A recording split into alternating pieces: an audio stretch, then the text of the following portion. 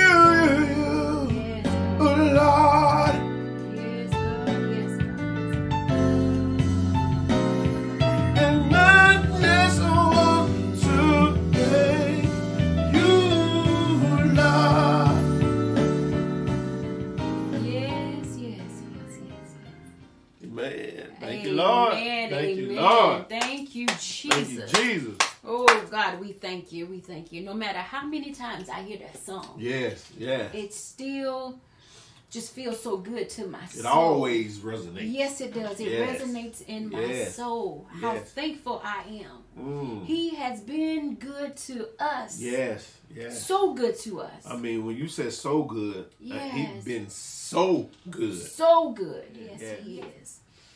And so today's program, we're going to talk about still the goodness of God, Goodness of God. and we're going to see it through the eyes of David, Oh, okay. All King right. David. King David. Yeah, well, he was David at the time of the story. Uh huh. Um, and we're going to go into First Samuel. Uh huh. So if you want to read First Samuel, um, chapter 26 is kind of where we're going to stay tonight. Okay. All right. Um, in chapter 26. ready. You ready? It's gonna be. I, I know it's gonna be a good word. I think so. I really think so. I do believe, you know, it's a word from the Lord and it's for us today. Yes. Yes. yes. It is definitely for us today. Yes. And specifically, we're going to look at David's character, Oh, okay. his character. And I want to use, I borrow a term from former Lady, Lady Michelle Obama, First Lady Michelle Obama, Uh huh. Um, when she said, when they go low, Uh huh. we go high. Wow. And so I believe David exemplified that character Uh huh. in this chapter. Well, throughout the whole book of First Samuel. But in this chapter, Uh-huh. his character displayed the character of God. Wow. When Wow. people are chasing you and after you and, and trying to kill you, Mm-hmm. he he didn't retaliate. Wow. When they went low, when King Saul went low, Uh huh. he stayed high. Wow. I, I, I think God requires us to go high. Absolutely, he does. Yeah, yeah. It is a requirement. He, commands us to go high. That's high. it. That he is it. Us to go high. That is it. Yes, but sometimes it, it sometimes it's, it's a challenge. It is. It really It- is. yeah, sometimes it's a challenge. It is. Yeah. It is. So we're going to focus, like I said, on David's character. And I do believe he was on an assignment from God. Uh huh. The same way we are on an assignment from God. hmm I believe people have been called to do a work for the Lord. Wow. He has given us all spiritual gifts, hmm giftings, and, and, and we all have a purpose in life. I believe that. And it's for us to walk out our purpose Mm. and, and, and walk through the journey, Mm-hmm. you know, to get to our destiny. Mm. Our That's destiny, good. I do believe, is eternal life. But in order to get to eternal life, Mhm. there are things that we must go through. Mm, that's good. That's and I good. believe David had to go through, he was on an assignment from God. Mm. And God, you know, my mind went to, um, you know, even on his assignment, how the best way I can I can put it is, as you're walking through your journey, Uh huh. Mm-hmm. um, things will happen. Yeah. Things Absolutely. will happen to you. Mm-hmm. But we must rest assured that the battle is not ours. Mm. It belongs to the Lord. It belongs to God. Yes, it does. Mm. It belongs to Him. It belongs to God. Yes. So let's let's go get in the story a little bit. Um, I see it as a movie. You know, I love a good movie. Yes. Oh, absolutely. I really do love a good movie. And to me, this is just a movie played out in the Bible. Mm. So we see in the story, David was running for his life. Mm. Um, this is in chapter 26. And Saul was the king, like I said, at the time. Mm-hmm. And he was looking and seeking and searching for David to find David. Wow. And while I was studying, you know, I started asking myself, why? Why would a king look to kill a person who has done nothing to him? Not none at all. David had done nothing at all. And my mind went to, you know, like I said, as I was reading the story, it was more of why would King Saul be after him? Mm. And I think a lot of times, you know, I said in my mind, what did David do? Mm. And I don't know if it's just our human nature Mm-hmm. where we automatically feel that somebody has done something wrong, like David had done something wrong, Mm-hmm. but he hadn't. Again, I kept looking, searching the scriptures, trying to figure out what did he do? He he didn't do nothing, but I think he was he, he considered David a threat. He did. That's it. But David didn't do nothing. Exactly. He did nothing. Exactly. But he considered David a threat. That's it. That's it. Sometimes people will be threatened by you for no apparent reason. Again, God has given us all gifts. Mm-hmm. So don't be threatened by my gift. Mhm. My gift is different than your gift. Mhm. And your gift is different than mine. Mhm. So I'm not going to be jealous or envy or covenant your gift. Mm.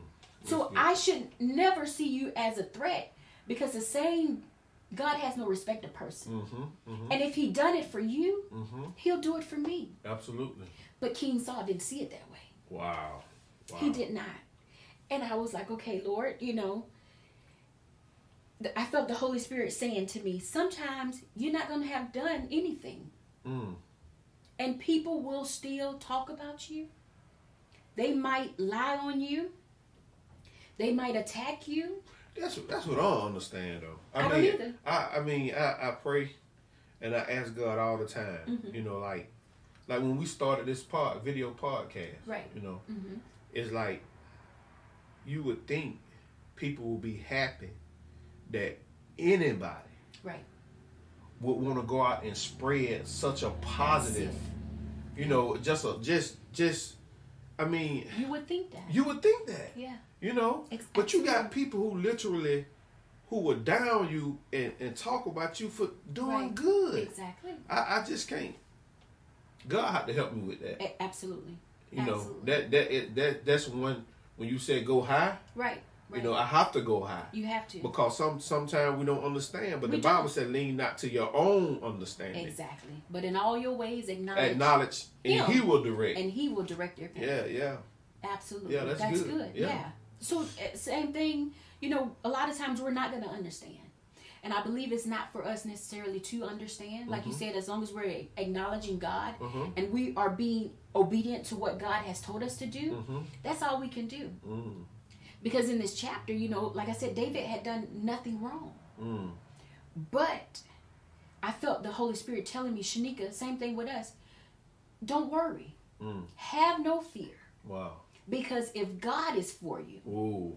Then Who who, can can, be? be? against you? Who can be? Yeah, yeah. And David showed us that. If God is for you, Mm-hmm.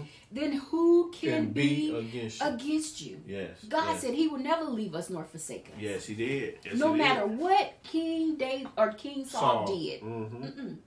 it never prospered. Mm, He was searching. He had 3,000 men looking for David. mm. He never found him. Wow. He never prospered.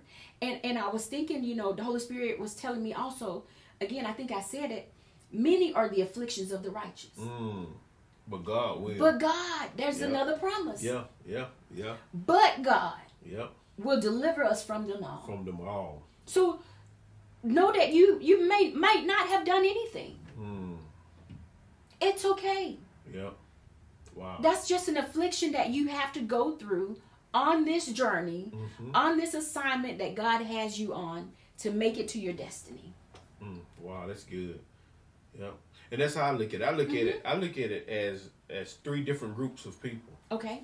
You're gonna have the first group Okay. who gonna support you, Right. who gonna lift you up, Right. encourage you. Right. I had people from work and people from home and just people I don't even know. Right. Charles, great job. You know, you and your wife, y'all doing something awesome. Right. You know, they pushing you. Absolutely. Then you got another group of people. Mm-hmm. They just don't.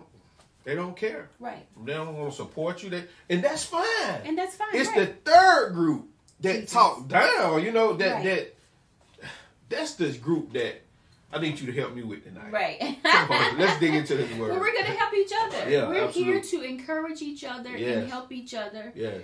And my word to you is, it's gonna be all right. Yeah. It- yeah. It will be all right. Yeah. You cannot focus on them because you can't please everybody. hmm As long as you're doing the will of the Father, Mm-hmm. as long as you're pleasing God, that's all you can do. And, and a lot of people in in this arena that we in, hmm I think a lot of people have it misconstrued Okay. about what success is. Mm. Okay. Success in this arena, what we're doing is one soul. That's it. Just Jesus. one. If you if you can transform, help transform. Jesus. If God can use you Jesus. to just get one, one soul. just one, Right.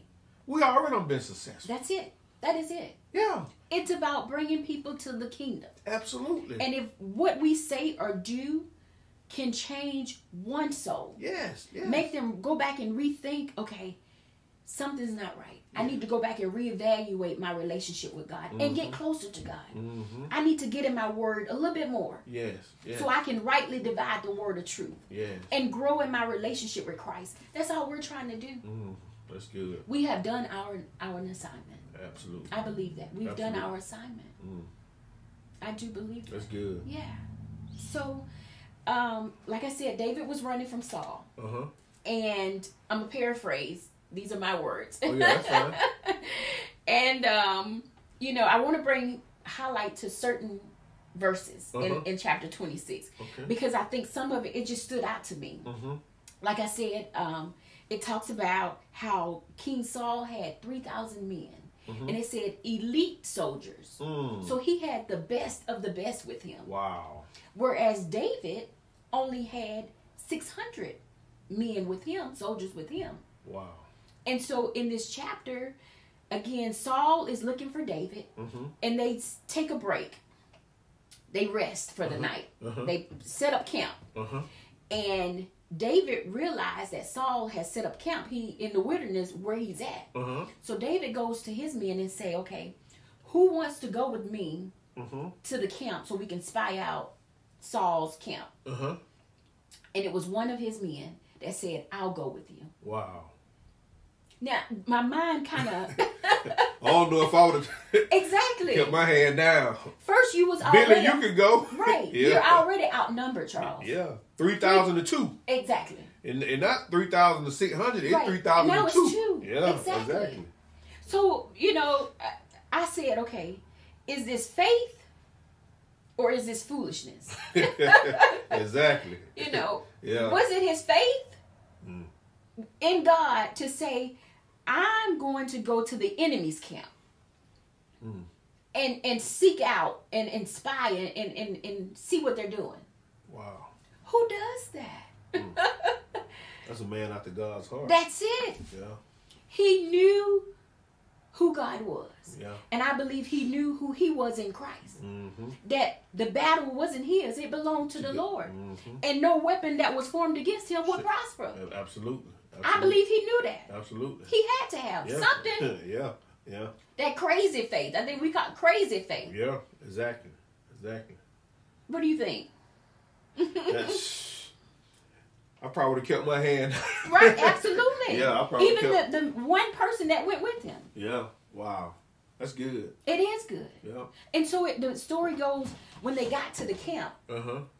um, they saw them sleeping. Uh huh. They're all sleeping.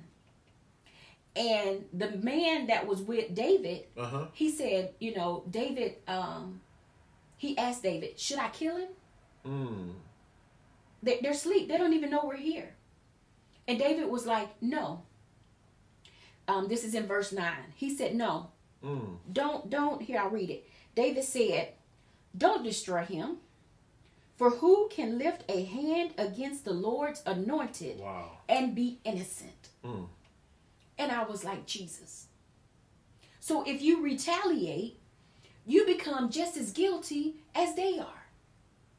Wow. So people that are talking about you, that mm-hmm. third group of people who you were talking about, I'm just as guilty. you become just as guilty when you go low, when you mm. get down in the ditches with them, Mm. when you comment back on Facebook, when you tweet something back, when you say something back, you become just as guilty. So when you go, when you don't go high, That's it. when you go low, Right. you also become a footstool. You do. wow. You do. Mm. Wow. He said he'll make our enemies what? Our footstool. Yeah. We do. So we he want he want to keep us high. He want to keep them low. That's the character of God. Wow. That's good. He he's always high. Yeah. He doesn't stoop down and go low. And David, the one who said that hmm in, in Psalms one ten and one, What was that? that he that God will make the enemies your, Oh, your footstool. footstool. Mhm. See, he knew so he was on to something. Absolutely. Absolutely. He was on to something. Every time uh, uh, uh, God delivered Uh huh. Saul into his hand That's and it. said, "Do as you wish," Right. he was on to something. He was. He knew Exactly. that God was gonna take care of him. Right. Right. God was gonna fight his battle. Right. And That's that's what we have to do. Mm-hmm, We have to trust and believe that our God will take care of us. Cause he see the he see the whole picture. That's it. He don't see just what's going on right now. Right. God sees the whole picture. Yes, he does. Cause he Alpha And no man. and Omega. That's it. So he can look from the beginning, That's and it, babe. he, he can look. He can see from the beginning, to the end, and he can also see at the end. right. Right. Wow. And I'll go a little bit further. Mhm. He's the author hmm And finisher. and the finisher of our faith. wow. So he wrote the story. He wrote the story. And he's going to finish the story. wow. Wow. That's good. Absolutely. hmm If we put our trust in him and lean not to our own understanding. Mm. Don't go low. Take the high road. You stay high when they go low. Mm. And I was like, Lord, I thank you for fighting my battles. Mm. I think a lot of stuff we put on ourselves, unnecessary stress. hmm hmm It's unnecessary. And God said, let me handle it. Has there been a been a time you could think of an example when Mm-hmm. you you took the high road? I just did it the other day, Uh-huh. Driving. I, Yeah. In San Antonio, Yeah.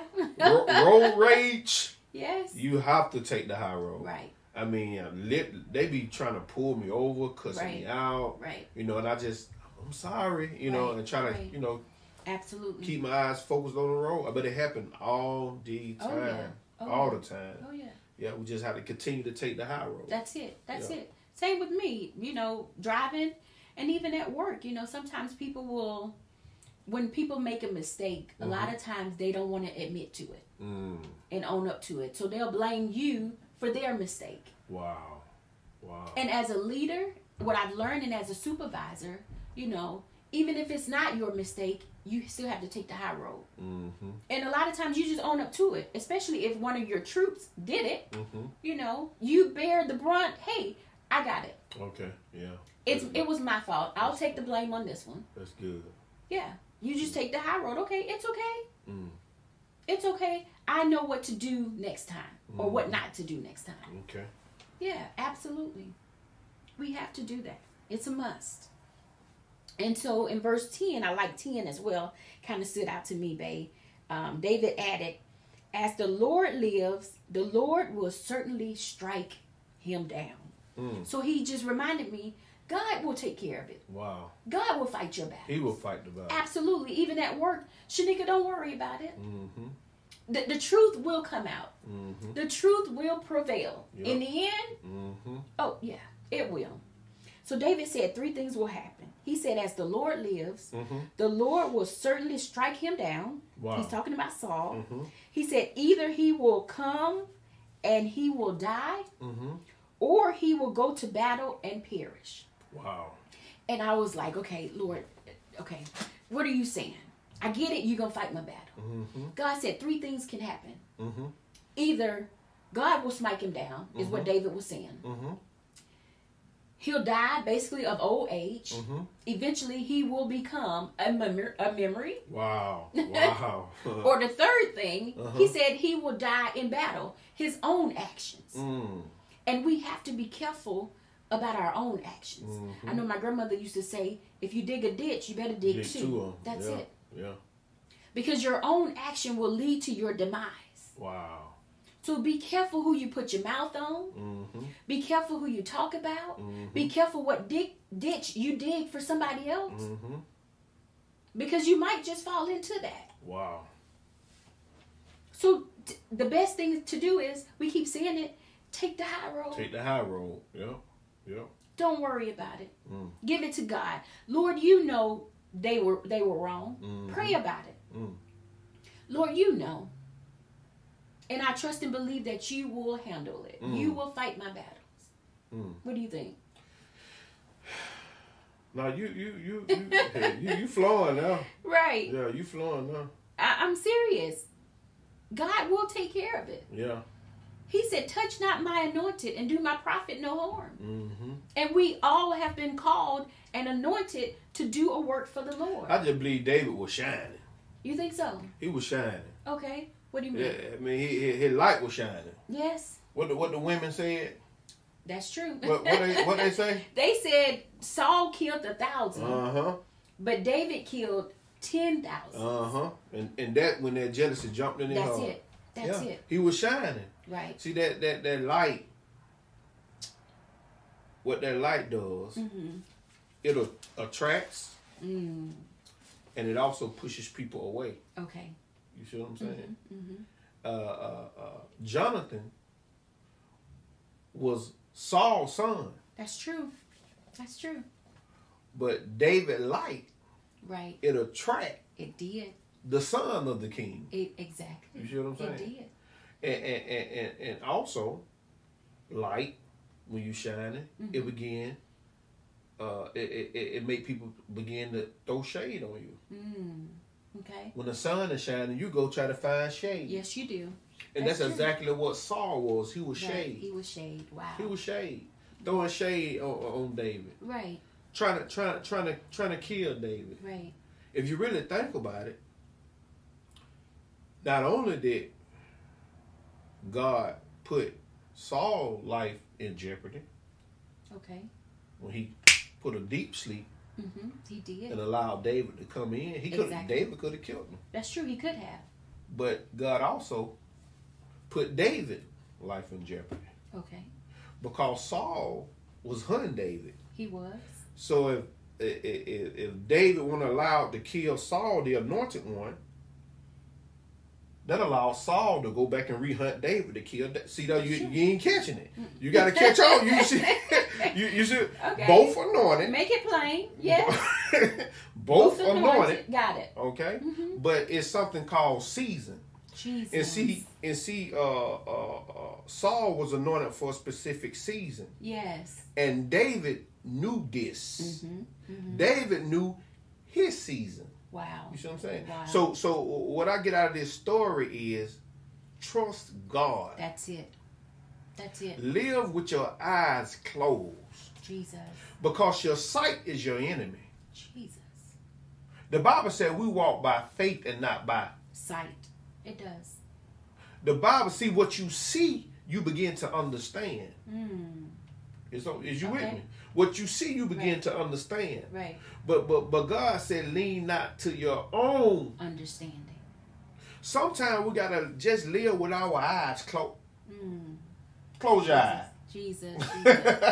Sometimes we gotta live without because our sight is our enemy. Jesus. Is you That's with me on that? That's good. And, and, and, and, and David, he got a hold of some that I feel like all believers should be able to grasp or should grasp. What? Trust in the Lord in the Lord. with all your. Heart. That's how he. That's why he was a man after God's own. Heart. He was. Cause he trusted in God with all his. Heart. Jesus. now I'm waking up.